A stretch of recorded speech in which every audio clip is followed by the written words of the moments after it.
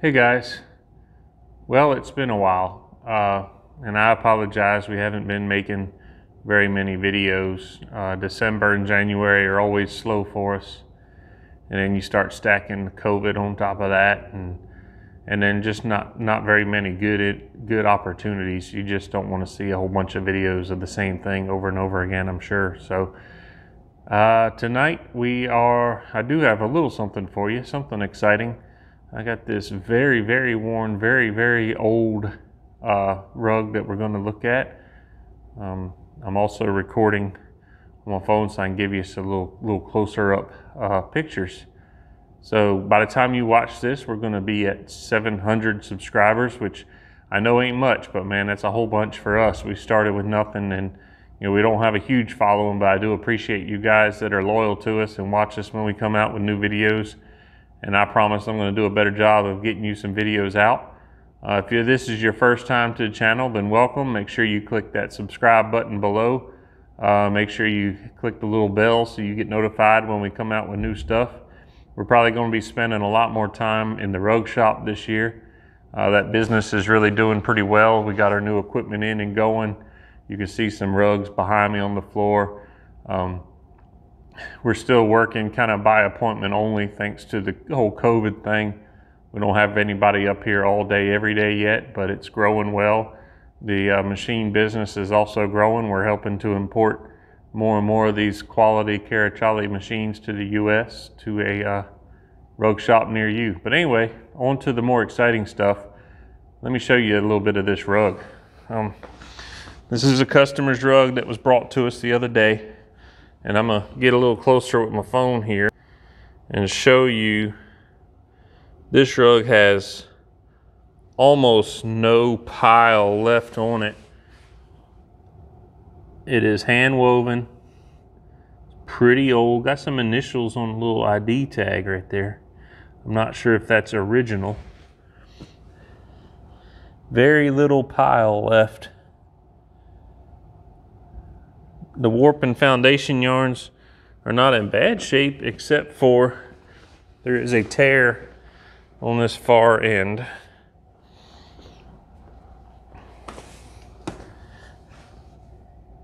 And then there's a small tear toward the middle. So we're not gonna do much for repairs on this rug. It's just kind of worn too far gone.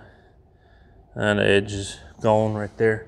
And they really enjoy it and it is pretty. It's, uh, most of its value has been lost through the wear. But we're going to wash it up real nice for them, get all those uh, dark stains. I think she said they had some puppies in the house. Get all those dark stains out.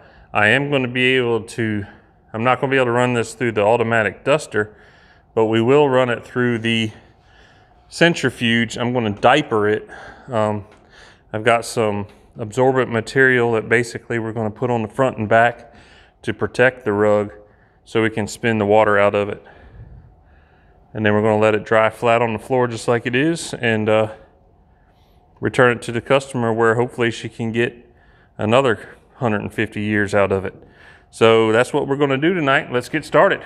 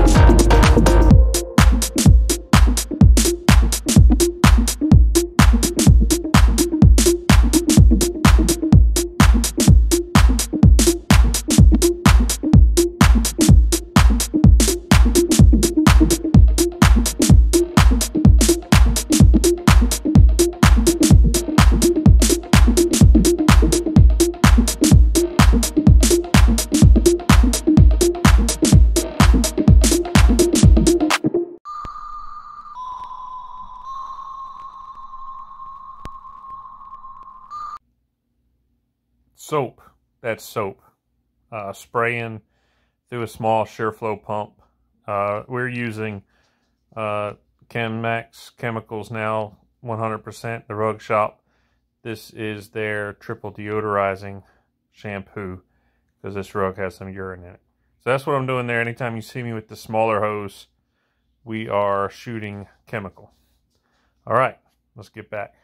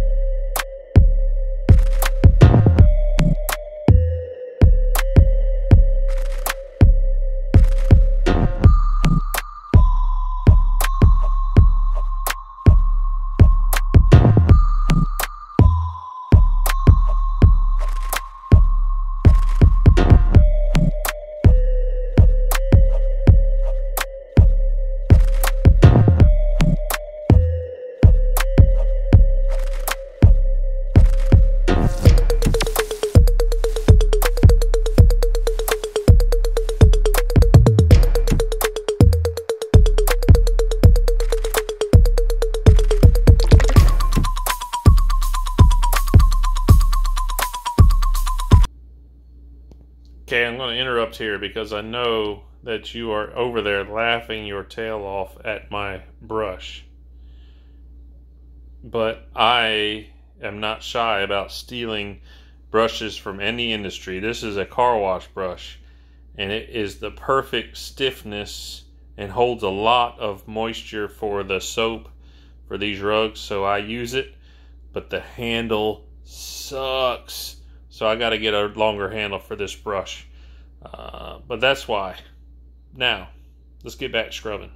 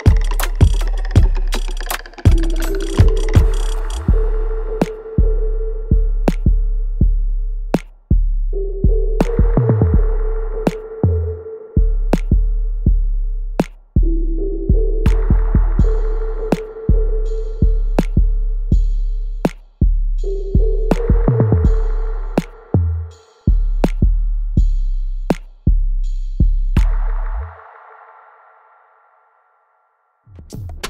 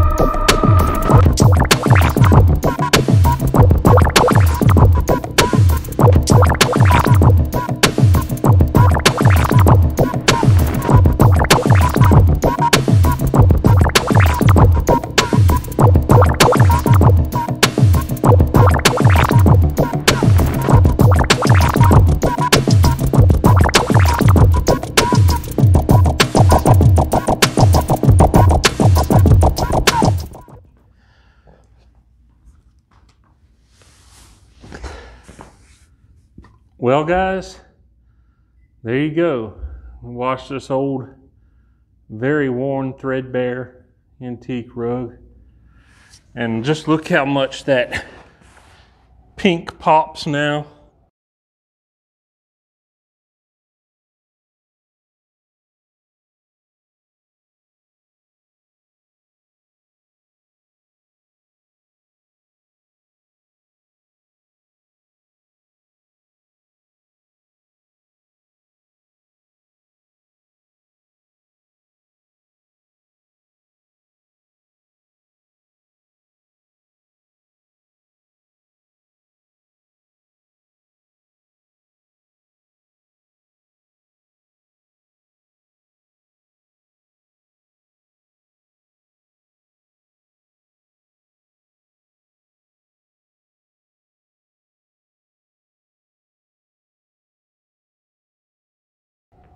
So I'm gonna wrap this one up, drop the fans on this bad boy, but uh, you know, make sure you click the subscribe button and thanks for watching.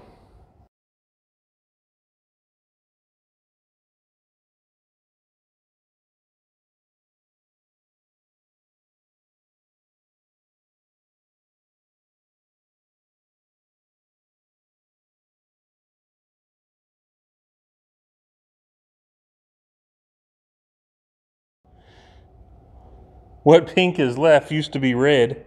Uh, what's left really pops.